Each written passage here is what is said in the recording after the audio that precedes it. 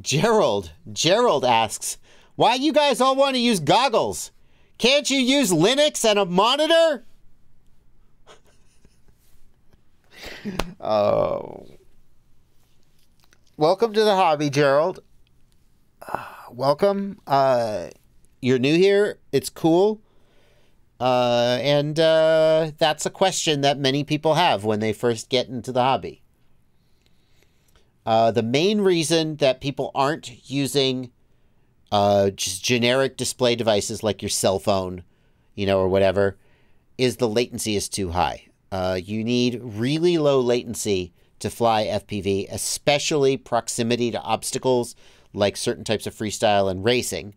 You need latency, ideally less than, let's say, 50 milliseconds glass to glass. And uh, you know that's that's a, ideally less but 50 or 60 milliseconds i think above that is where it starts to be like ooh this is really this is really affecting me. And many devices that will take a picture and display it wouldn't do it fast enough.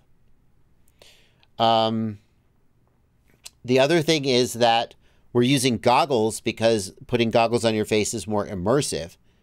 When you have other visual inputs it's distracting and when you only see that one visual input, you actually, you know, people will lean to the side. It you it feels like you're in the aircraft.